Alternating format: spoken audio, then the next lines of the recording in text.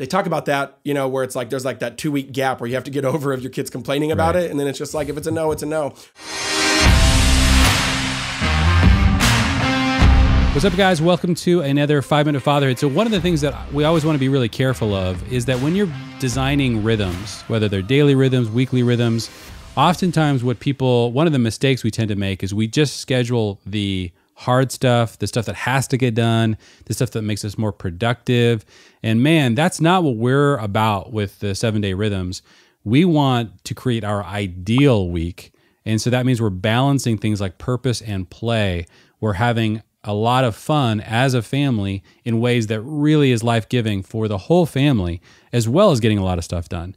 And so, you know, for us, that that's looked lots of different things in different seasons, different outdoor activities that we're really into. Like last year, we were really into pickleball. We're excited. The weather's just getting nice enough that we're going to start getting back into that again. Um, we do on you know our, our reading night on Monday night, our media night on Wednesday night, our Shabbat time where we have nice desserts. I mean, just it's really important to have fun stuff that your family enjoys doing, um, things that you you guys as a family really bond around, and it just cr- is critical to schedule that stuff in as it is any of the productive stuff. Um, this is much more of a like you know like work hard, play hard, or work intentionally, play intentionally. Um, play should be have a level of intentionality around it. And so make your make it so that you love your week and each of your kids loves your your week. If you're able to live that ideal week, uh, you can just sense that as you're getting closer and closer to actually living into that seven day rhythm, that your family is just getting is thriving more, enjoying it more. Uh, but Jeff, how do you guys think about how to balance or make sure you're integrating fun uh, into a really purposeful family rhythm?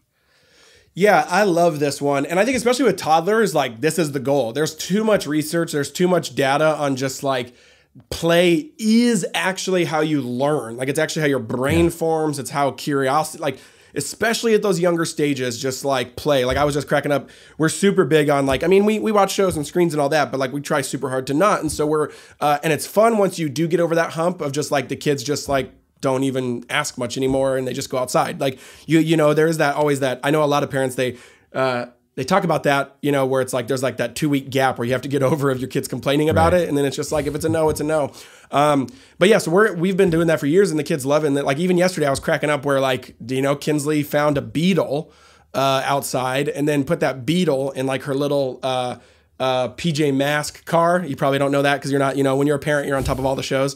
Uh, but PJ Mask is like a, and, and so she like literally spent like they spent like an hour, her and Kannon just literally trucking this beetle around in their toy car, like in the driveway. That's and I'm like, that's like so unstructured play too. There's two things I'll say here. There's two tracks.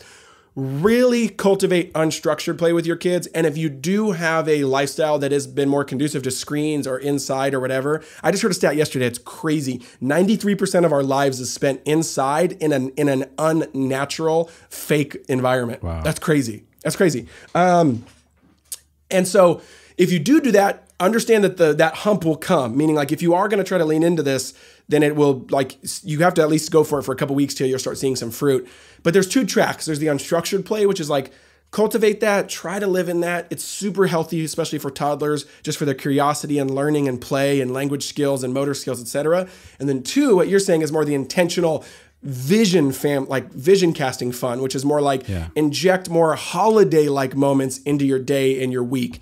And so whether it's pool time, whether it's family walk time, whether it's something dumb or fun you do at dinner. Like I'm really sporadic at dinner and I just want to make dinners fun, so I'll just like stand up on the chair and start yelling or something. You know, like I just I do dumb stuff cuz it's like I want them to just remember that this is where fun happens.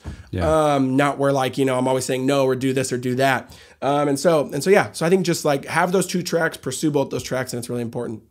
Awesome.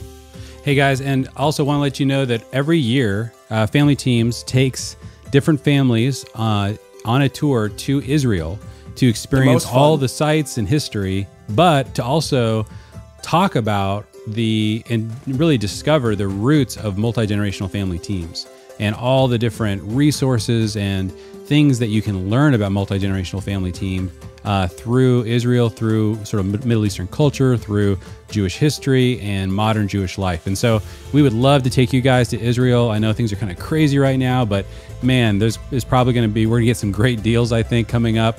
um, in the in the next year or two. And so, if you guys are interested in coming with us, you can check that out. Go to familyteams.com, look for the Israel tour. Uh, we got a bunch of people already signed up for January. That's when we like to take people over when the weather's a little bit uh, rougher here. We like to head over to Israel. So if you're interested in, in coming with us this January um, or some some trip in the future, then keep an eye on uh, on that at familyteams.com.